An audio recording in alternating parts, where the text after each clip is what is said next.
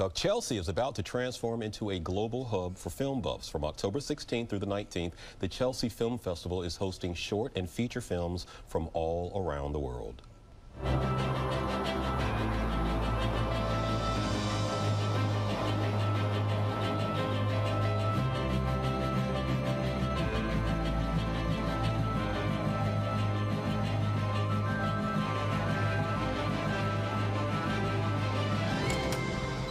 All right, Ingrid Jean-Baptiste is the festival's founder and Jacky Ido, president of the jury. Hello to both of you. Now tell me, how old is the event?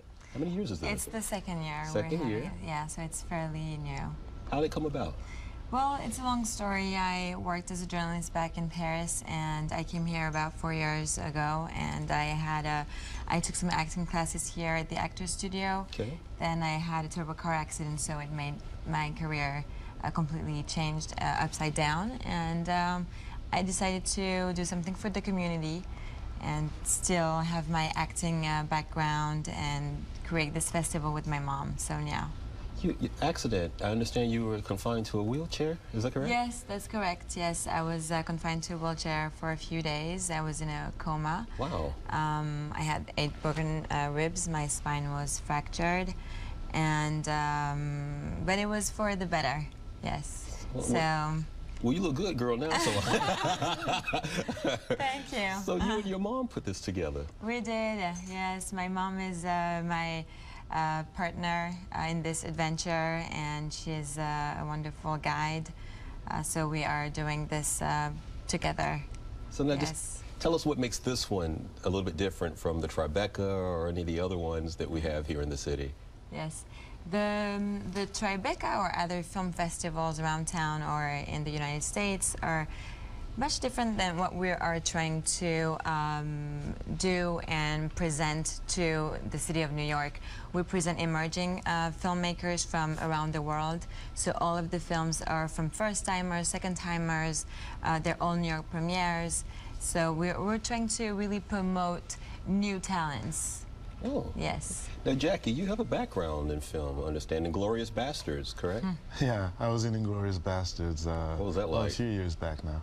I, would, I mean, amazing. Like, imagine me in Paris, uh, having to audition with, for Ken- Quentin Tarantino. He, he was my, you know, one of my heroes, and uh, we just sat down and talked about the script for a while, and you know, Uh-huh.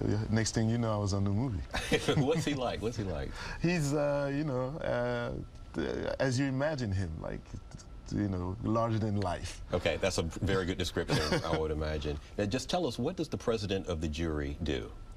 Well, my role is very simple. I, I'm a big film buff, so you know I, I feel at home. I just I'm just gonna watch movies from all over the world, and uh, you know get to pick uh, you know rising talent. So that, that's uh, that's my focus there, and I have good help from uh, great people like Susan Batson, uh, Agnieszka Vosloo, you know great uh, you know people from from the industry. So no, I'm looking forward to just. Uh, See who's the who, who the next uh, Jim Jarmusch is going to be. What highlights can we expect? Either of you, what some of the highlights? Oh, the be? highlights. Well, we have films from all around the world. It's really, we have uh, about 47 films this year. Uh, 13 films are in competition.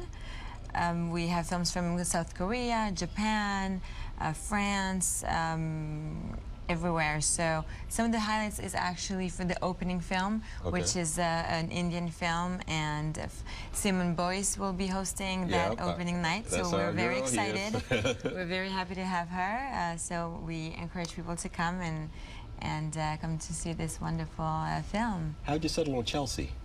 I th- that was my first uh, apartment in uh, in New York. So um, I decided to do something for the community for. For my neighbors, for Okay. yeah, and the first, and there was a theater in Chelsea called the SVA Theater. So, I just it was very simple, very logical to to us to do it for in the neighborhood. Now, we also want to ask Yeah. about the statue because it's the charging bull, right? How did that come about? yes. See, I did my homework. Yeah. so the statue is representing a lot to us because in, as an emerging uh, independent filmmaker, you have to be strong. You have to go forward, and that statue, that bull, is is in motion, and it represents the force, the strength, and uh, so for us, it was it was uh, logical to have this statue as part of a, a symbol of the festival, and uh, and Arturo Di Modica is uh, donating that bull of a $10,000 value um, to the festival That's winner huge. every year. Yeah. All right. I thought they had the bull because I was a tourist. you make the connection there, right? so nice to meet you both. Let me let everyone know when the festival will be taking place. It's happening October 16th through the 19th, and as Ingrid said, Fox 5 Simone Boyce will be actually hosting the opening ball on October 16th. So nice to meet you both.